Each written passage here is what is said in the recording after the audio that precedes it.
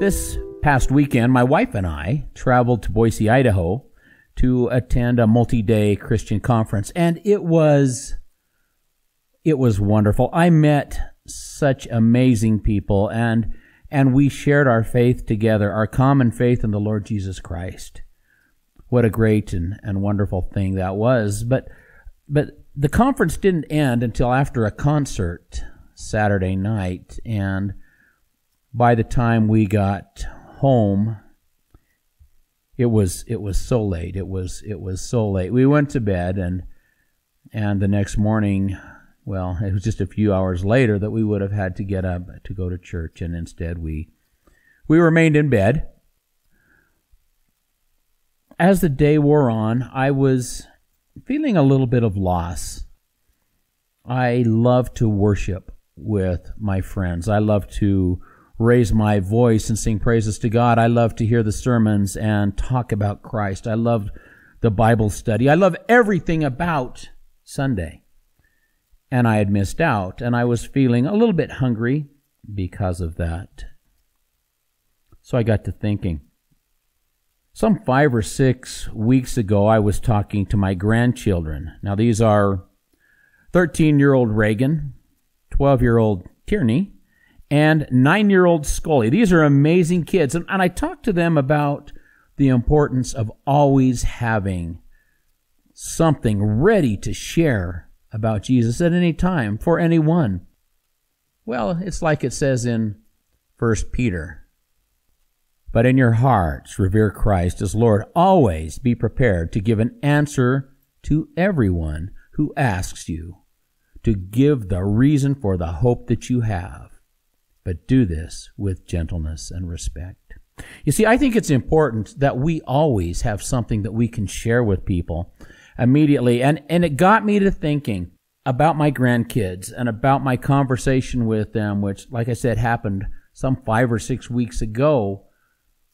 I thought I'm going to call and test them a little bit, see if they actually have followed through on what we said and, and what we had talked about. And honestly, I I didn't expect that they would because kids are kids. So I telephoned and nine-year-old Scully picked up the phone. He said, "Hey, Grandpa!" I said, "Hey, buddy, how you doing?" And and I talked to him about missing church, and he knew we had missed church because he he and I we we worship in the same place. So that little rascal Scully, he uh, kind of held me accountable a little bit. He wanted to know why Grandpa wasn't where he ought to be. And so I explained the situation and he accepted that. And then I said, but Scully, I didn't get to hear any good sermons today. I didn't get what I what I wanted today and and because of that I'm feeling a little bit sad. I said, "Do you have a sermon ready for me?" And he said, "I do. I do." And I said, "Great." And and he turned around and he yelled to his family, "Where's my Bible?" and as he started to go find his Bible, I said, "Scully, Scully, ask your sisters if they're ready too." And so I heard him shout out to his sisters, Grandpa's ready for a sermon. And then you hear this running and clatter around the house as they're all rushing around trying to find their Bibles so that they can come and share their faith with me. Reagan uh, was the first one to get back to the phone, just 13 years old, and such a precious, precious daughter or granddaughter.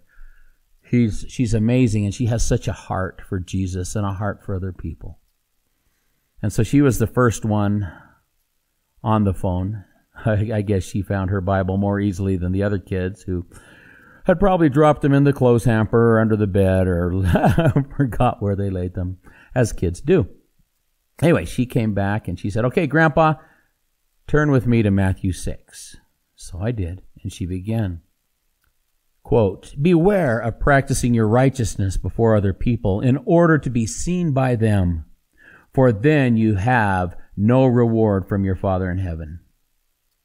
Thus, when you give to the needy, sound no trumpet before you as the hypocrites do in the synagogues and in the streets, that they may be praised by others. Truly I say to you, they have received their reward. But when you give to the needy, do not let your left hand know what your right hand is doing, so that your giving may be in secret, and your Father who sees in secret will reward you. Reagan continued, And when you pray, you must not be like the hypocrites, for they love to stand and pray in the synagogues and at the street corners, that they may be seen by others. Truly I say to you that they have received their reward. But when you pray, go into your room and shut the door and pray to your Father who is in secret, and your Father who sees in secret will reward you. And when you pray, do not heap up empty phrases as the Gentiles do, for they think that they will be heard for their many words. Do not be like them. Your Father knows what you need before you ask. Pray then like this. Our Father in heaven, hallowed be thy name. Your kingdom come, your will be done on earth as it is in heaven. Give us this day our daily bread and forgive us our debts as we forgive our debtors.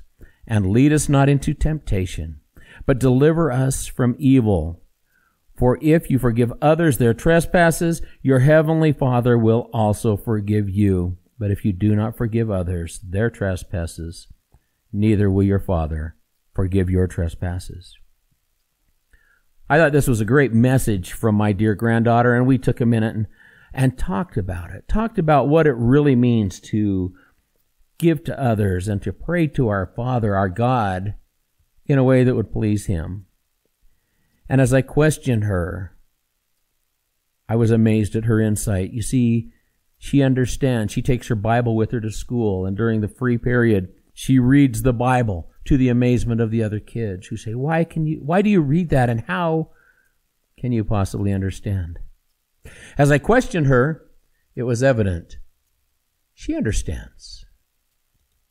Next up was Scully he uh, came to the phone and he said, Grandpa, I'm ready. And I said, Good. What are we reading? He said, Matthew 22. I said, Okay. And I turned there with him.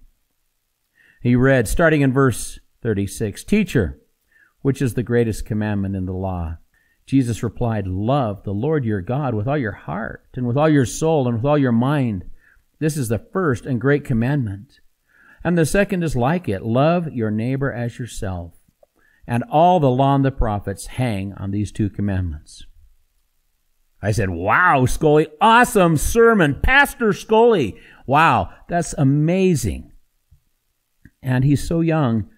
I, I had to ask, How did you find this, Scully? This is an awesome passage. Where did you find it? He said, I just was reading the Bible and I liked this one. is that amazing?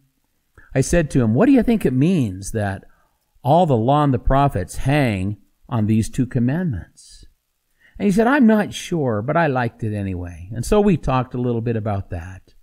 And he quickly understood that for God, the most important thing we can do is to love Him and to love our neighbors. We had a discussion, Scully and I, about who our neighbor is.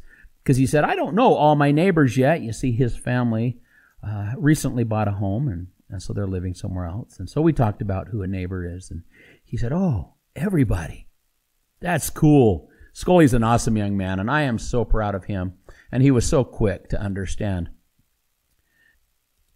Next up was Tierney. Tierney, beautiful granddaughter and so full of love, just 12 years old.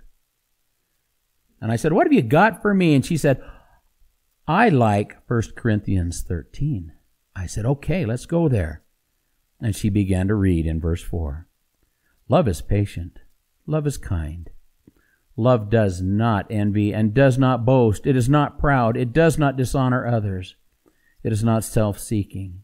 It is not easily angered. It keeps no record of wrongs. Love does not delight in evil, but rejoices in truth. It always protects, always trusts, always hopes, always perseveres. Love never fails. Again, I took a few minutes to talk with her about this verse. And, and again, she confirmed to me that she found it not as part of a Bible study or part of a of, of anything that anyone else had influenced her with. She found it as she worked through the scriptures on her own. And she understood the importance of real love, honest love, the kind of love that never fails.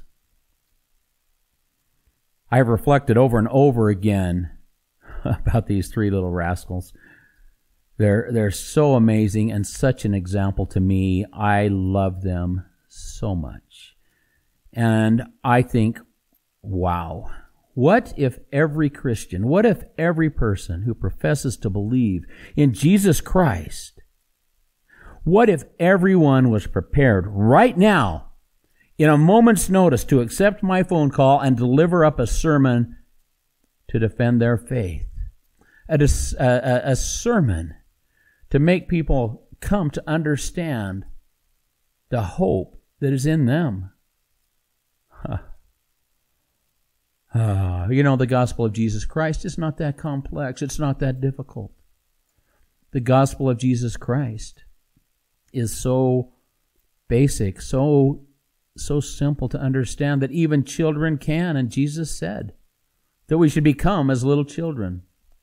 And oh, that we, the world, you and I and everyone, oh, that we would become as these little children. I'm Lance Earl, and I'll see you soon.